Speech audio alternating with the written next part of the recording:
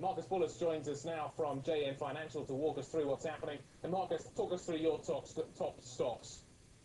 Afternoon. The uh, stocks that we've been trading today, as you said, the miners have done fantastically. Uh, within that, the financials as well. Of course, there's not any secrets now that the American markets finished up over 300 points last night. That's bringing a lot of confidence within the UK markets this morning. It's really been rallying throughout the day. There hasn't really been a stage where it's taken a step back and taken a breath. And uh, Standard Chartered and BHP Billiton has been my favourite stocks today. Uh, talk to us a little bit about uh, some of the issues on the downside, though.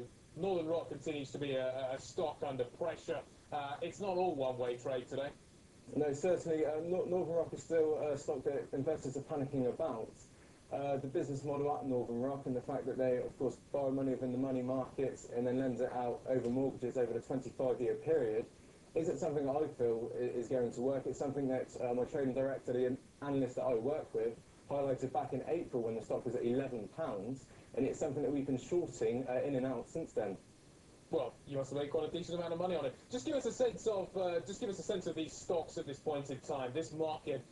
Where is it going from here? Are your clients convinced that this is the start of a, another rally, or are they just uh, taking uh, taking the sunshine where they can find it and enjoying it, and are quite prepared to be in and out still of these markets? Uh, certainly taking the sunshine where they can find it. Uh, I think uh, investors' attitude has changed to date. If you look back sort of six months ago, people, there would be bid rumours floating around, people would jump into the stock, they'd be holding positions. Things like Sainsbury's, the stock went all the way up and held around the 580 mark before. And now it's certainly moving a lot more with the markets as people are a lot more panicking, a lot more jittery.